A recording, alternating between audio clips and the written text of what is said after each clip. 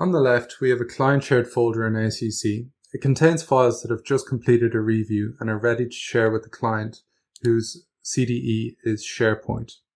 We can see that the SharePoint document library is empty and when BIM Launcher runs, it will detect these files and copy them across to the SharePoint document library.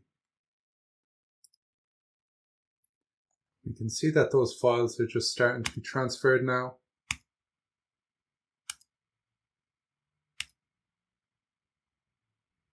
Great, so although they're not in order, we can see that the file names do match. And taking a look at the metadata, we can see that the naming convention has been preserved and the metadata from the naming convention is being preserved between the systems. You can see attributes like role, document type, and revision have also been preserved across the systems. And we've also transferred custom attributes. You can see the stage and floor range has also been transferred. The floor range in ACC, interestingly, is a text field.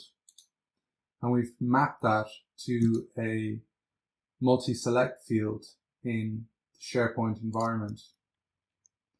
So if we open that in grid view, you will see that the floor range, in fact, is a multi-select. This highlights our capability to overcome system level discrepancies as ACC does not have a multi-select field attribute type.